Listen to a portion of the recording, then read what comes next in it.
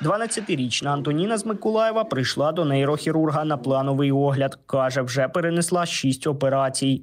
Е, болісно, якщо чесно, і фізично, і морально. Коли виходить, знають е, про моє захворювання, мене або не помічають, або мене бояться, або до мене е, відносяться трошки так е, по-особливому, відносяться там.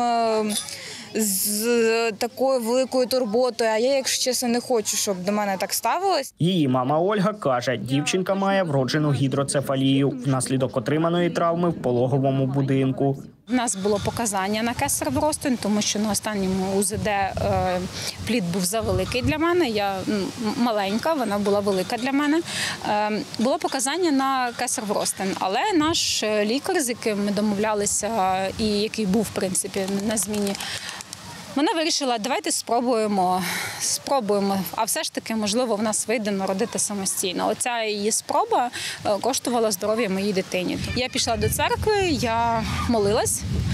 е, І дала якусь обіцянку певну Богу, що якщо з моєю дитиною все буде добре, я не буду не судитися. Я спробую від чистого серця пробачити її. Про те, що дитина отримала травму, дізналася через місяць вже в обласній дитячій лікарні. Тоді ж і була проведена перша операція. Ольга каже, на початках шукали варіант медикаментозного лікування без встановлення спеціальних шунтів в тіло дитини. Ми навіть відправляли документи в Ізраїль е, і в Германію. Ми робили снімки, здавали аналізи, подавали запрос на те, можливо, в них є якась альтернативне якесь лікування.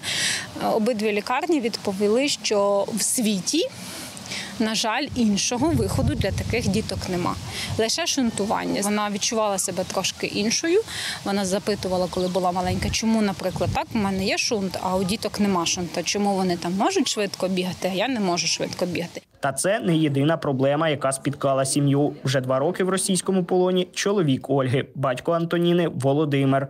У мене воно хоча б минеться, от зробила операцію, воно мені стало легше. А от думала про тата і думала, ну те, що в нього ж немає там можливості навіть е, нічого такого зробити. І він це все терпить, тому якось так е, збрала його мужність. Ольга каже, попри всі побоювання, дитина розвивається, як і усі її однолітки. Вона пішла на гру гітари.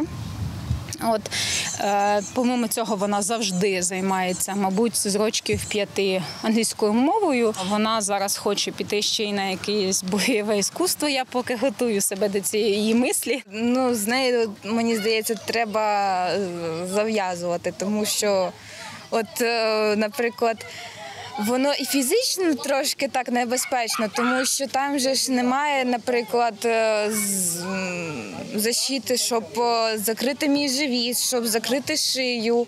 Дитячий лікар Сергій Чернишов каже, за статистикою в світі зі 100 тисяч новонароджених до 25 дітей мають вроджену гідроцефалію. Ну, гідроцефалія це не самостійне захворювання, це е, ускладнення якогось захворювання. От у Антоніни було е, первинним було крововилив в шлуночки головного мозку. Каже, позбавитись гідроцефалії можна лише вилікувавши хворобу, яка її спричинила.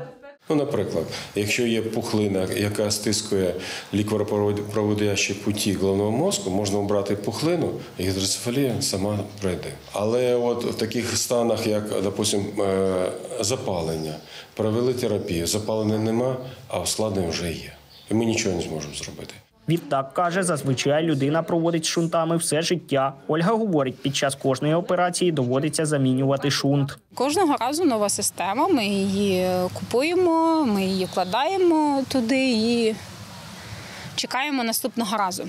Е, А наступного разу це немає якогось там графіку. Це може бути як у однієї дівчинки, в яку ми до сих пір споминаємо з позитивом там раз в 14 років, і це було круто. А може бути ем, раз.